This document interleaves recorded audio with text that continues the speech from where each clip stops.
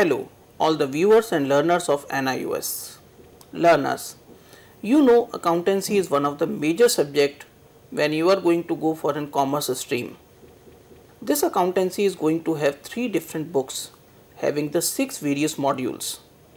The sixth module is going to be an optional module in which there are two choices before you. Either you go for the analysis of financial statement or cost accounting. If you choose a cost accounting, there are four chapters in this. In our earlier programs, we have already discussed with you what is exactly the cost accounting and what are the basic components of cost. Now, today we are going to discuss on the topic cost sheet. Learners, after passing out class 12th or even on a today's date, if you are doing some business and basically a manufacturing business, do you know what are the different type of cost you are going to incur? There are certain cost which can be directly attributed towards the cost of production where you can analyze them yes exactly this is the cost we have incurred while there may be certain other cost which you won't be able to attribute where you won't be able to adjust or identify it is directly involved in the cost of production or not where it means it is very very difficult to know the exact amount spent on a particular product so now there is a need for it that if we have to analyze it, we have to prepare a cost sheet. So cost sheet is one of the statement where all the components of the cost are going to be incurred, are going to be inculcated and we can know that what is the exact cost of the product at different stages. This will help you in minimizing the wastages, in reducing the cost and ultimately help you in increasing your profits. I, Dr. Piyush Prasad, Academic Officer in Accountancy, is going to discuss on that topic together with Dr. Anand Sharma, who is the Associate Professor in Central University, Haryana. Sir, we welcome you in our studio. Thank you. Learners, in our today's discussion, as I have already told you, the topic is cost sheet. It is a very detailed and wider topic which covers the various aspects of cost. What are the various components of the cost? how the cost is going to be taken from the raw material to the ultimate sales of the product.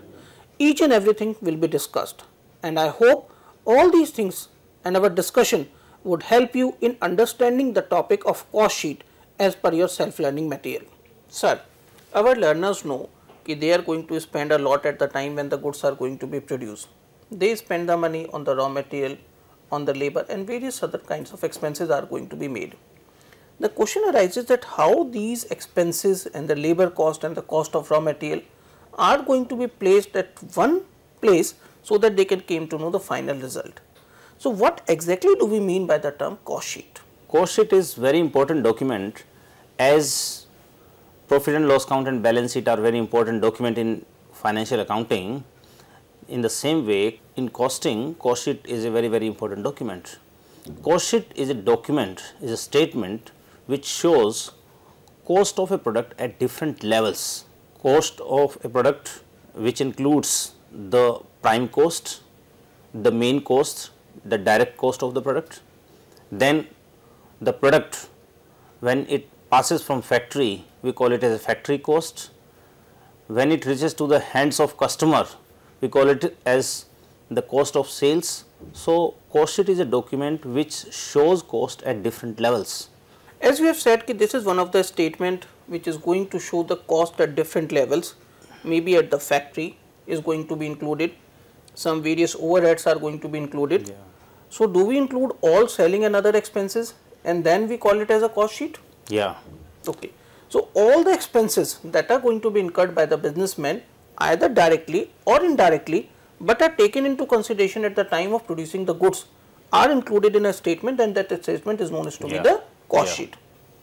Now, once the definition and the meaning of the cost sheet is known, exactly what is the importance of cost sheet in cost accounting? Cost accounting is a very wider term as yeah. we have discussed earlier also.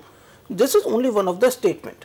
Why do we consider it so important? Why are we going to take each and everything in it? Don't we have any other method or a means by which we can calculate our cost? Cost sheet is a document which shows the various components of cost in a very very meticulous manner by having a one glance of the you know cost sheet, a manager can draw lot of inferences, lot of useful information out of that. So, you can say the cost sheet is the crux of the whole costing. As far as costing is concerned, importance is concerned, it clearly depicts the cost at different levels. It helps in you know ascertaining the total cost of a product. It helps in calculating the selling price of a product. It help in you know determining that how to control cost at what part we can control. So, these are the importance of costing. Once the importance of the costing is known as we have said ki it help us in calculating the cost at various stages Yeah. and finally the main which you have so told is it helps in controlling the cost Yeah. side by side it is going to help the managers in taking lots many decisions related to the business now the question arises that what are the different components when we are going to prepare this cost sheet The total cost of a product, the cost which we calculate, the cost when it uh, reaches to the hands of the customer, we call it as the total cost or cost of sales. Cost of sales, the total cost is divided at different levels. The direct cost, we call it as prime cost, it is the first component. It consists of material cost, labor cost and expenses which are directly and easily allocated to a particular product. That particular cost is very very important and that is known as prime cost. When prime cost is known, we add overheads, but we add overheads at different levels. First we add production overheads, overheads which occur in factory premises. For example, if you prepare a cup of tea or you prepare a pizza, you can see there are some ingredients, basic ingredients which you can see, which you can touch, which you can feel, which become part of finished product. That is known as direct material. But while you know producing that particular product in factory premises you have to incur some expenses. You have to use some material which does not become part of finished product. So that is indirect material. That happens in factory premises. Then we calculate labor direct labor who are involved in production process we take as direct labor but there are some people in the production department who indirectly support so, that is indirect labor. So, this way indirect material, indirect labor and indirect expenses. All these expenses are clubbed together in factory premises we call them as factory overheads. In a similar way there are some expenses overheads which occurs in office and administrative block. So, we call them office and administrative overheads that is the second component of overheads that we add to you know cost factory cost. Then comes selling and distribution overheads. These are the overheads which occurs at the last stage when we supply the goods, when we deliver the goods to the customer at the last end. So, these expenses occurs. So, you mean to say ki overall this thing can be divided into four broad categories Yeah, at the time of calculating the cost sheet. Yeah. Once you say that's a prime cost which is taken cost. by taking all the direct material, direct expenses, direct labor. Yeah.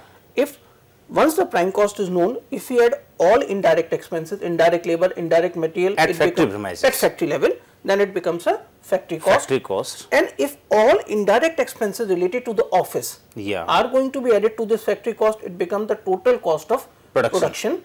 Yeah. And then the cost of sales. Basically, once we add the selling and distribution expenses to it, it Yeah. becomes the cost of sales. Cost of sales. When you are going to prepare your cost sheet, there are four basic components as the sir has told you right now. First of all is the prime cost which you are going to get by adding all the direct expenses. Once the prime cost is known, you have to add all indirect expenses at the factory level and it becomes a factory cost. If all the expenses at the office level are going to be added to the factory cost, it becomes the total cost of production. And once the total cost of production is known, you are going to add all selling and distribution expenses which are incurred for distribution of the goods, for making the goods to provide to the ultimate consumer, then it becomes the cost of sales. Though ultimately cost of sales is the thing which is known to you. Then you have to add a certain percentage of your profit certain amount of profit and then it becomes the selling price. This way the cost sheet is going to be prepared. So now we are going to discuss this detail by requesting the sir to please explain the pro forma that is going to be used while preparing the cost sheet. Pro forma of cost sheet first all direct costs are taken. Direct material direct labor direct expenses and the summation of these three direct costs we call it as prime cost. Prime cost is the basic cost of any you know product which occurs. Then to prime cost we add factory overhead, it comes to factory cost. Many times you must have seen factory rate per sale, sale at factory rate. So, meaning thereby they want to say that we are adding only factory cost, we are not adding you know selling and distribution overheads. What is this is their marketing you know proposal. When the product is ready in the factory premises that we call factory cost, now we add office and administrative overheads because ultimately these overheads these expenses have to be you know borne to by the customer only. So, we add to the factory cost then it comes out total cost of production. To total cost of production we add selling and distribution overhead we will get total cost or we can call it as cost, Cost of, of sales. sales. Now, this is my final cost when the product reaches to the customer's hand. Now, the question is how much profit I want to make. Sometime in competitive scenario, I will add only very Very nominal less marginal nominal profit. marginal profit or if the market allows I am enjoying monopoly, then I will add my own profit.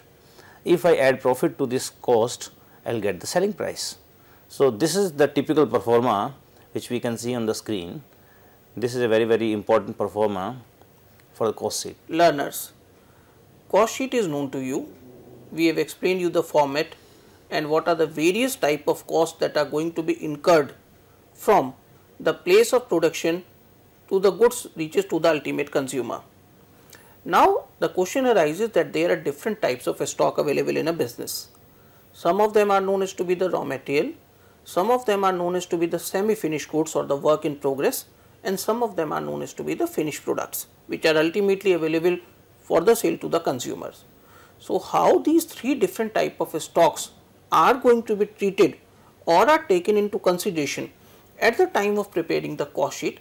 Now, this is a very important aspect which you are going to take care of. Now, sir is going to explain you about all these three different type of aspects related to the material as I have told you. Sir, please explain our learners how we are going to treat the stock of raw material, Yeah. stock of work in progress and the finished product at the time of preparing the cost sheet. First of all, the cost sheet which we have seen that is a simplistic view of cost sheet. In real life, there will be some complexities like uh, in the beginning of the year or at the end of the year, we have some opening and closing stock. In that case, we have to make adjustments in the cost sheet. As we know that there are three types of opening and closing stock. It may be stock of raw material, the material which we use to produce goods. There may be stock of work in progress, the raw material on which some process has been done, yet it is not in the finished shape. We call it as work in progress. And then we have finished goods.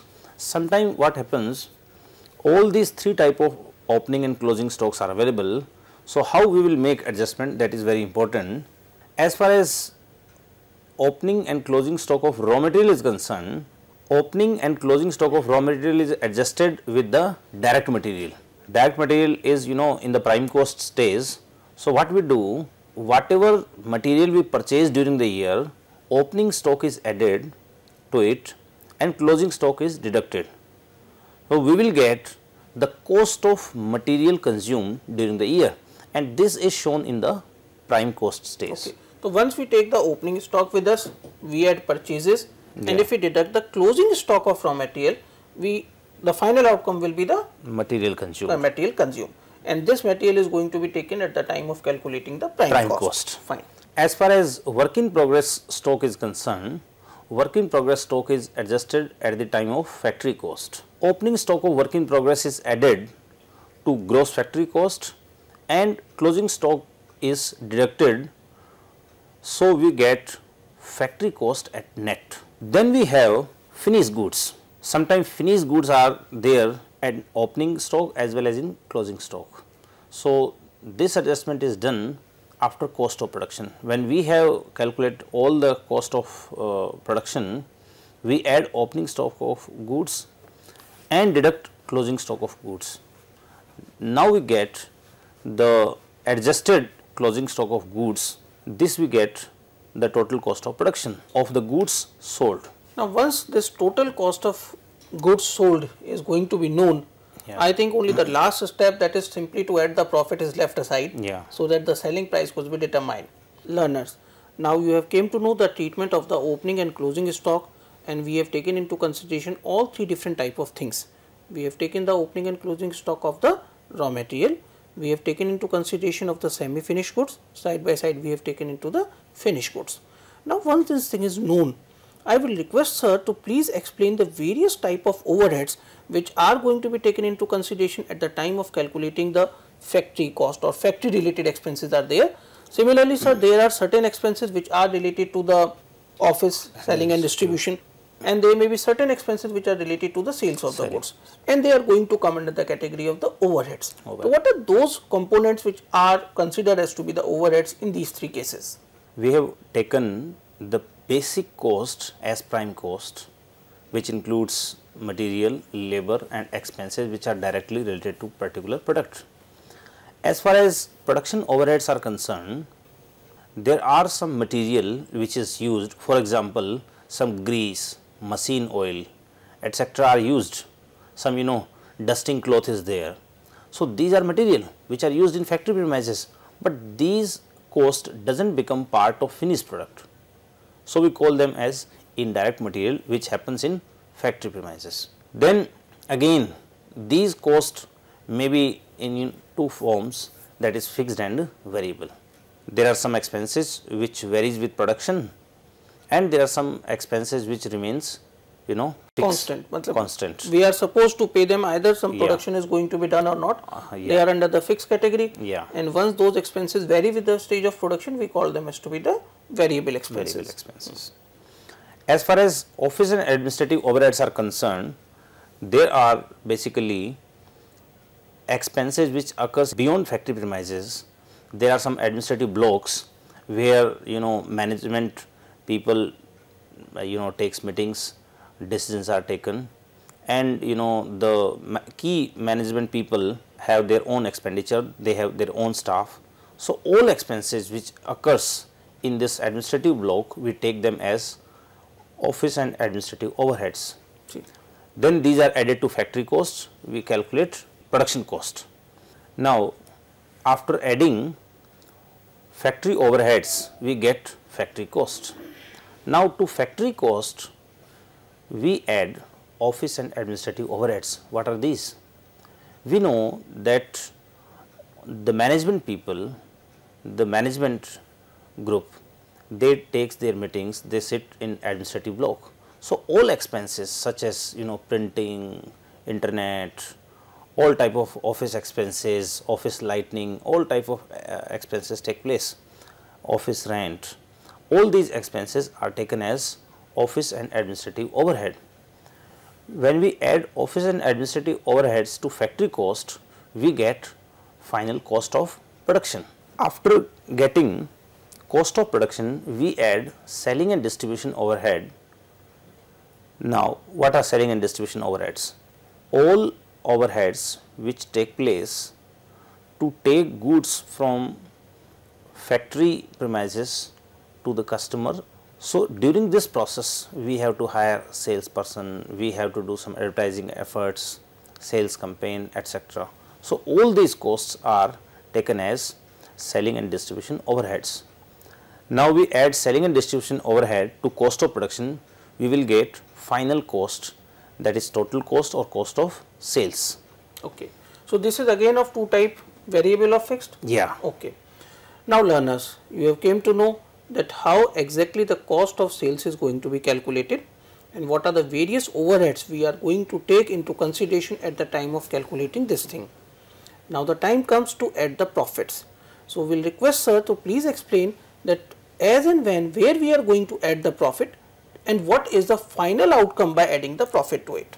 This is the main objective of cost sheet, how to determine the selling price. When we have calculated total cost or cost of sales, now the management has to take decision how much profit management wants to earn.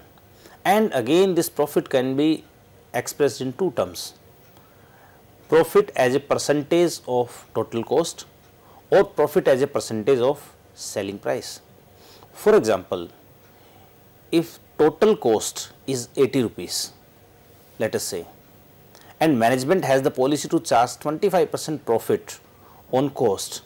So, 25 percent of 80 that is 20 rupees.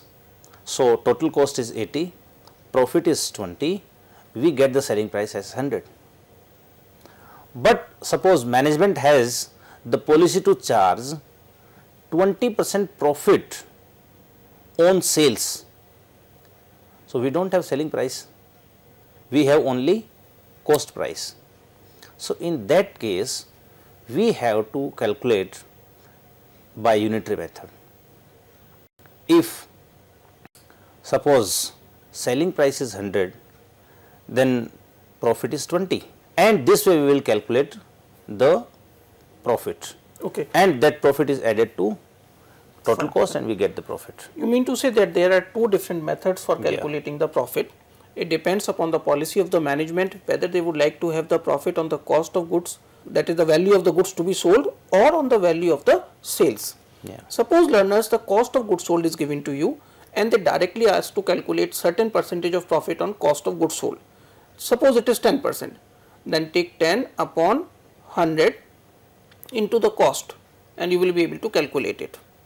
In other case, suppose the cost is given and you are going to calculate the profit percentage on sales which is not known to you. Then in that case, you are going, suppose the percentage is 20, then you are going to take 20 upon 80 that is 20 will be deducted from 100 and you are going to multiply by cost of goods sold. That is different method. Suppose selling price is given to you and you are going to calculate the percentage on cost. Then in that case you are going to add the percentage into the denominator and suppose it is 20 percent on sales then 20 upon 120 into selling price and that you will get it by calculating the profit on cost of goods sold. So, these are the different methods which can be used by you while calculating the profits. Now, sir is exactly going to show you with the help of a slide that how these things are to be taken into consideration. Selling price is equal to cost of sales plus desired profit. Already discussed that there are two methods. Desired profit as a percentage of total cost is simple and desired profit as a percentage of selling price. Selling price is not known. So, sir has already explained that uh, say it is 10 percent then we will take 10 upon 90. So, learners, I hope that the discussion which we have done today on the cost sheet is going to help you in solving your practical problems and questions through your self learning material on a cost sheet. We have taken into consideration the meaning of the cost sheet, its importance to the business, what are the various components at different stages, how we are going to calculate the prime cost, how we are going to calculate the cost of goods sold, each and everything and where how the profit is also going to be taken into consideration. I hope all these things are going to be very very useful to you in solving your problems. Thank you very much sir for being here with us and providing such a useful and uh, difficult information in a very lucid manner to our learners. My Thank you, sir. pleasure, my pleasure. Thank you learners.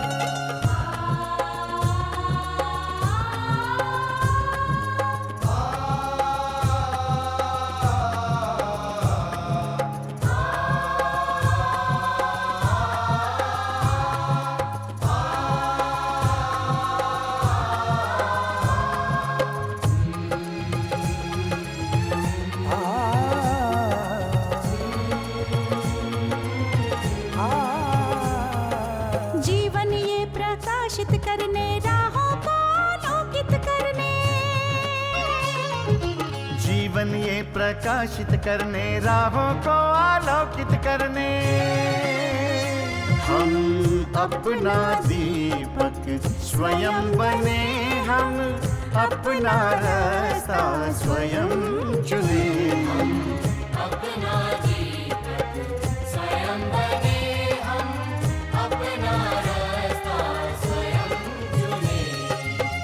जीवन ये प्रकाशित करने राहों को आलोकित करने।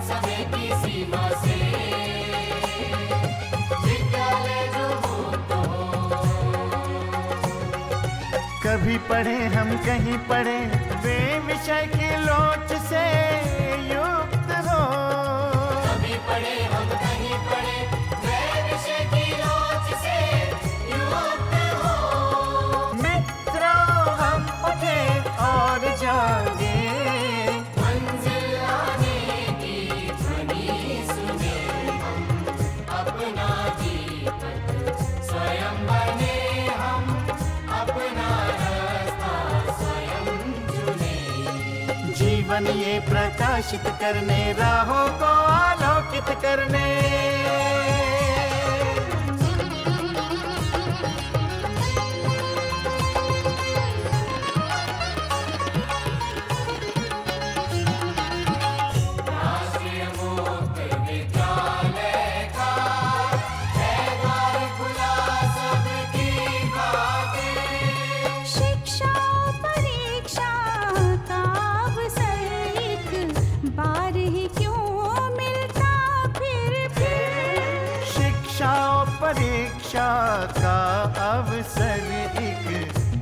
रहे क्यों?